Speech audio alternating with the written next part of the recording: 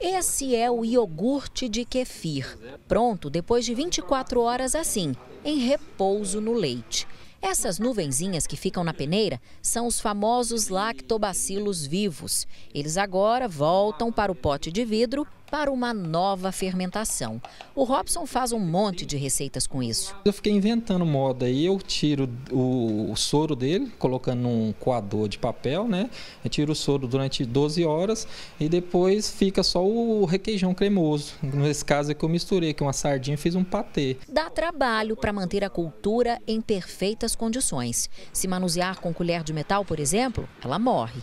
O Robson já consome há dois anos e garante que os benefícios benefícios são vários. O intestino melhora demais, o funcionamento do intestino, pele, é, questão eu tinha problema de micose na unha, show de bola agora, 100% disposição, é, quem tem problema de estômago, dores, essas coisas assim, para mim melhorou demais. Para começar a produzir é preciso conseguir uma isca com quem já tem, ou então comprar em lojas de produtos naturais. O kefir é milenar, muito usado na medicina oriental e agora voltou à moda com essa onda de alimentação saudável. Não há contraindicações, é um probiótico natural e dizem que extremamente nutritivo. Ele é rico em magnésio, rico em cálcio, né? Que vai justamente por ter isso, ele aumenta a imunidade.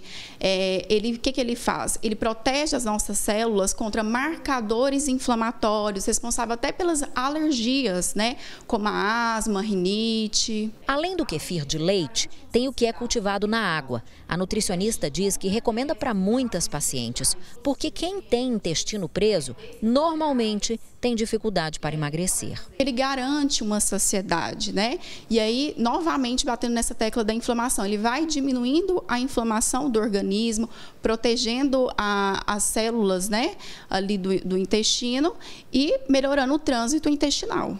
Esse médico explica que o intestino interfere na saúde do nosso organismo como um todo. Em desequilíbrio, pode gerar uma série de doenças. Quando você é, está absorvendo os nutrientes corretamente, perfeito, seu organismo vai funcionar bem. Agora, quando acontece alguma desarranjo no seu intestino ou uma alteração na flora bacteriana do seu intestino, onde as bactérias ruins são maiores que as bactérias boas, o seu intestino vai ficar inflamado, não vai absorver os nutrientes e vai causar uma série de problemas no seu organismo. De tão importante, o intestino é considerado hoje o nosso segundo cérebro e nele pode estar, por exemplo, a explicação para a depressão.